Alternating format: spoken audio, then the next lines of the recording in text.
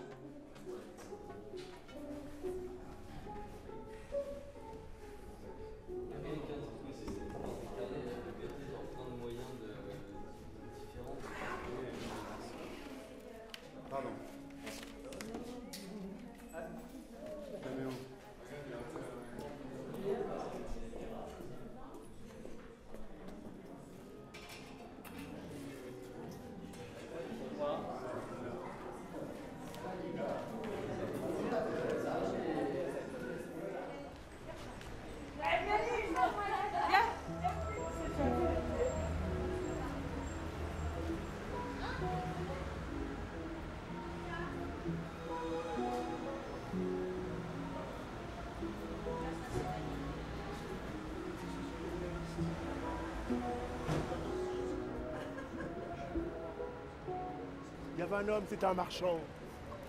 Et ce marchand-là, il avait un oiseau. Et comme il aimait son oiseau, il l'avait mis dans une cage. Ça, c'est important de le savoir.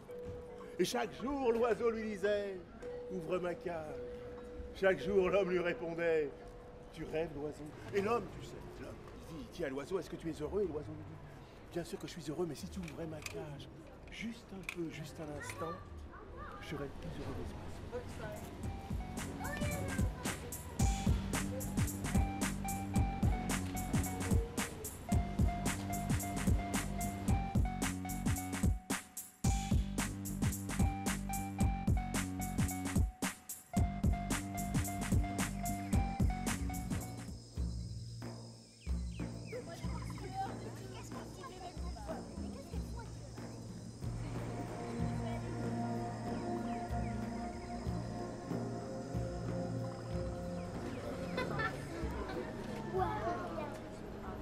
façon, l'histoire, elle commence vraiment au matin du huitième jour.